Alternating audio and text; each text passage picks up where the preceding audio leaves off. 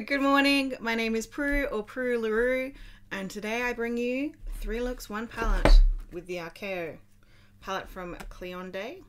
This is a recreation of the looks that Angelica Nyqvist kindly provided for us in this piece of paper. Uh, the first look you'll see is this top one. I actually hated that look when I did it, but the more I look at it, the more I love it. And yeah, I'll have a chat to I'll have a chat to you about the looks afterwards, uh, if you're interested in that, and about what I think about the palette. But for now, let's get into these looks, recreating the Angelica Nyqvist insert. Uh, thank you so much. Alright, while we're here, let's just do a little swatching party on my face. We've got Monolith, Dead Sea, Erosion, Nomad, Fragment, Ichin, Glyph, Sundial, Sulfur, Neo. Did not clean my hair well on that one. Neo, Terrain, and Artifact. So this. Alright, well I hope you enjoyed that little swatching party. So we're going with the shade that I pointed at, which I forgot the name of. And I'm just blending that into the crease like Angelica has told us to do. And it's blending out beautifully. I like this shade. I'm looking forward to playing with it a bit more. This is going to be a weird voiceover because I'm going to cut out at some points because I think my original reactions are quite good and worth keeping in.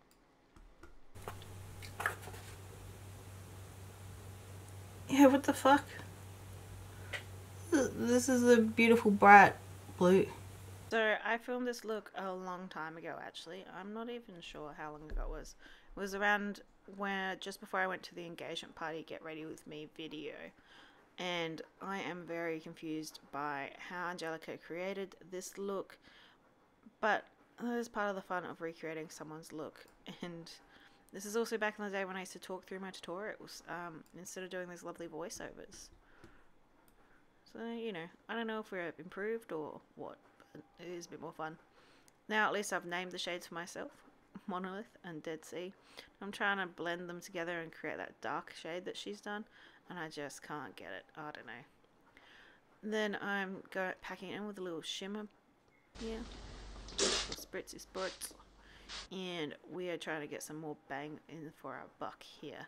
I'm sorry, I can't remember all the shades at the moment. This is another video I'm editing with about five hours to go until I fly overseas. So I thought I'd just come join you and do a nice little voiceover, add a bit of hopefully entertainment for you to this eye look. I really appreciate you being here and watching this by the way. And I do quite like this look. This was a look that took a while to grow on me. I'm pretty sure I talk about it in this video. I'm sorry that this one's going to be a bit all over the place with this voiceover. But blending them through and it's it's looking nice. I don't know. It's pretty good. Alright. Let me bring you in and show you. Can you see it showing all its glorious patchiness?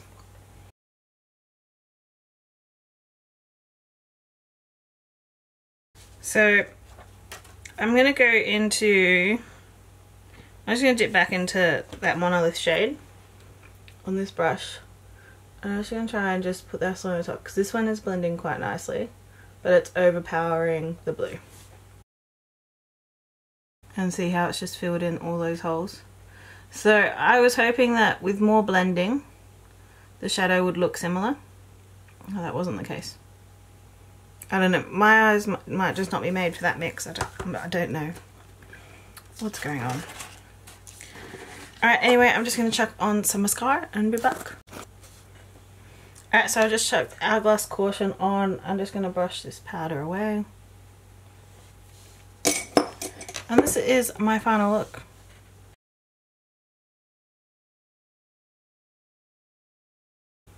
And I'm going to leave it. If I keep blending it, it's just looking shitter. And I think from far away we look alright. Anyway, I might come back once my hair's done and shit, but I don't know. So I did not come back for this one and actually didn't use this palette for nearly two months after this. It just made me sad. And we are back to pretty much current day and I'm all about the voiceover now. So there's none of that in and out that we're going to get. So going with this lovely yellow shade, look at that. It is bombing. This is a brush that Annette gave me and it is beautiful. Have you watched Annette's brush video? It is like one of my favorites. I need to go back and watch it again and buy all the brushes she recommended recommends in that video. But I'm using my technique, and that's the little triangle on the outer edge. This is just my favorite, and it gives me a little bit more precision in my blending and placement. And I do really like this combination. So going in with that gold shade, and we are just blending it down. Pretty sure I forgot to spritz it, which is why we're not getting that extra bang. These shades definitely do need some Fix Plus to just help them show up. Oh, I did remember. Here we are, some Fix Plus, and we're dabbing, dabbing, dabbing. A little bit extra more bang. I don't know, I kind of feel like you need to use your finger for these, but I do like how they came out. So I'm going on my MAC 217 and just blending, blending in the crease. I think what I found from this is that Angelica really loves blending. So this is another brush I believe Annette got me, this M421. And now I'm going in with Marc Jacobs Sunset on the inner corner and Benefit They're Real Mascara. We are just putting this down. I'm pretty sure I get myself in the eye this time. But we've got a mascara declutter coming up and I'll have a quick chat about it then. But here is the final look. Voila! And I forgot lipstick. I'm so silly. I don't know. Does anyone else do that or is it just me? Anyway, this is the third look. I'm holding the palette upside down, so I'm really sorry, but you know, it's just the way it is. This was an interesting look that Angelica came up with because you put the brown in the crease and then you put this brown shimmer over the top of the shade that you've just laid down. So I feel like she was just trying to use the shades. But she is one talented lady. And we're putting some shimmer on our lid. We are packing, packing, packing, packing, packing, packing, packing, packing that shimmer in. Then something on the inner corner, a little bit more shimmer, building, inner corner, now we're going back into that greyish shade. These shades do tend to look a bit different once you do blend them out from what they are in the palette. But you know, it's pretty. We got that fallout. They're very loosely packed shadows, and I think, pretty sure they're handmade, and that's part of the reason. But they are beautiful. And this is probably the most neutral looks I've sort of done in one hit. And we're going into Kicker from Colourpop. This is a lovely silver waterline. I do not know why I don't use this more I absolutely adore it. I've packed it. It's coming with me. The Colourpop BFF mascara. Just putting this down, laying it down, trying to build it up. And there we are, the final look. Let me know which one you liked. Thank you, Angelica. Alright, so we are finished. This took me ages because that first look just pissed me off so much. Um, and it was stupid because eventually I realized that I did like it. That's sort of what happens sometimes when you're recreating someone else's looks, especially because Angelica's eye is very differently shaped from mine. So everything's just not going to look the same. And like, I love Angelica. Her channel was amazing, and I love watching the looks that she came up with. The first look, the problem I had was just blending in, what was it, Monolith and Dead Sea. I just couldn't get that to work in the same regard she did. But the way I did it, I do actually love now. Silly. Uh, the exfoliation to the second look, it's quite fun. Little pop of blue. I don't think I've ever done that, but that's like the basic. Like people who do neutrals all the time, that's how they use color. And then this final look is the topography icon. So the cool thing that Angelica did, and was splitting it into quads, and I do wonder if the owners had told her to do that. So like this is look one, look two, look three. I feel like this palette it works in quads, but I think it, you know, could have been better. Um, it does annoy me that I don't have it, it named, and if you see Angelica's uh, palette that she has, she just mentioned it in her palette collection video. They actually like hand wrote it underneath there, and it looked beautiful. But obviously, that would take more time. For me, this palette has been uh, semi controversial for me. Um, I remember ages ago posting a video about how much I hate pre orders and then I spent 48 hours annoying Annette from Annette's Makeup Corner about if I should buy it or not because it was for sale again. Uh, she was like, Prue, if you like keep talking about it, just buy it. I was like, yeah, you're right. so I bought it. Um, I don't regret owning it. This insert, i am getting quite dirty because the palette, the colors are quite loosely packed, and you can sort of see that kick up that I've caused from just using them. Um, it's very slim, and oh, you can bend it. Well, you can't really bend it back, but you can sit it flat, which is, you know, which is kind of a nice touch. I would have liked a mirror, especially for the price that I paid, which I think is like 50 Canadian or 70 Canadian. I'm sure it cost me about 100 bucks. Which is kind of crazy. Let me just double check. So yeah, the palette cost me 70 Canadian and shipping was 21.59. Um, it did take me a very long time to get here. I bought this last year. I bought this on the 9th to the 11th and it shipped exactly about a month later. And then I think it got here around Christmas time. I'm not exact though. That's kind of standard coming from so far away.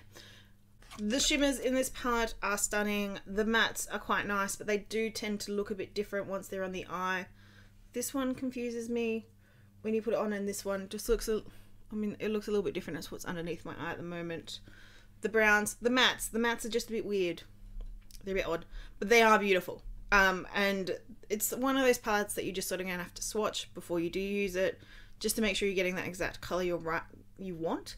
But if you're just enjoying using it, you're gonna you're gonna have fun. So it's got little holes in the back that you can poke out, but it is um, grainy to the touch. And I've already got stains on it, which I did show you in another video. But ultimately, it's a beautiful palette. It was 70 Canadian dollars. Do I think it was worth that? So there it is. There it is. So the other day, um, I would have done my three looks one palette with the Bombshell Cosmetica this goes for 50 US. That was 70 Canadian. I got this product for half price, which I think is like kind of fair. That's like 25 US. That, that, that that's how the shadows perform to me. This I would say is sort of like on par a little bit with the Anastasia formally in that it's quite loosely packed. And yeah. I feel like uh like 50 60 dollars. 50 dollars? Yeah.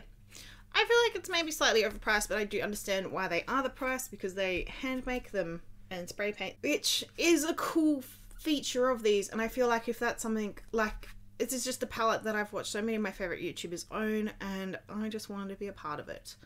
Um, and to me, it's a collector's item in makeup. I think there's going to be one more release coming up at some point of these. And I am curious, I'm tempted to get the Paleo palette. I'm not sure though, but I do quite enjoy I have quite enjoyed these. Um, and it's quite unique in a palette combination. So I'm not complaining. I do really enjoy. I have really enjoyed playing with these. Uh, the formula is good. It's solid. It's it's every eyeshadow in this performed well, which is pretty pretty amazing.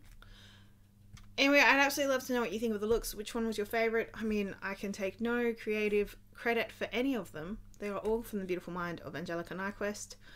And it's just that I was looking for a video that someone did this and no one has done it yet. So I hope you enjoyed my recreations. I hope I have done like even the little bitest like service to Angelica because that girl is talented. Anyway, thank you so much for watching. I absolutely appreciate it and adore you. Mwah.